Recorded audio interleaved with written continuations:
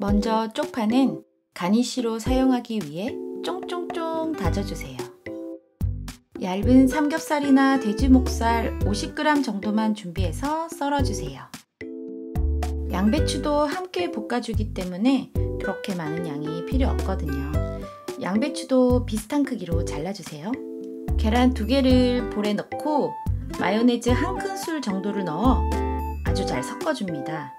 이전 영상에 마요네즈 만드는 법이 있으니 못 보신 분들은 위에 보이는 영상으로 가셔서 보면 되고요. 마요네즈에 간이 다 돼 있어서 별도의 소금 간이 필요 없어요. 팬에 기름을 두르고 돼지고기와 마늘을 먼저 볶아주세요.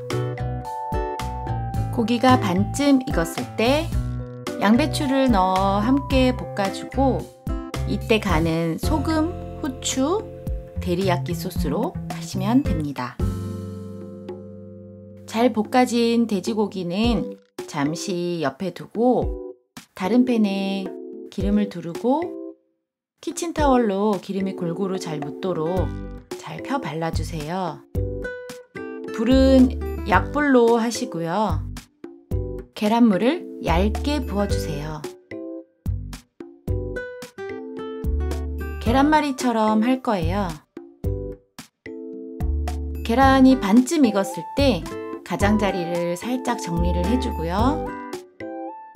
좀 전에 볶아둔 돼지고기 양배추 볶음을 중간에 올려주세요.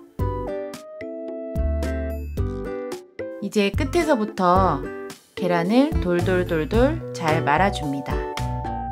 자, 이걸 끝으로 밀고 다시 계란물을 부어서 계란말이를 좀 더 크고 통통하게 만들어 줄게요.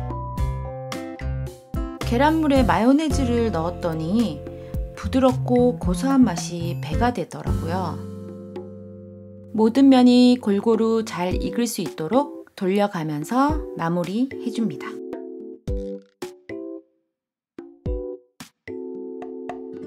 자, 이제 접시에 옮겨 담고 가스오부시, 쪽파, 데리야끼 소스, 그리고 마요네즈까지 뿌리면 완성입니다.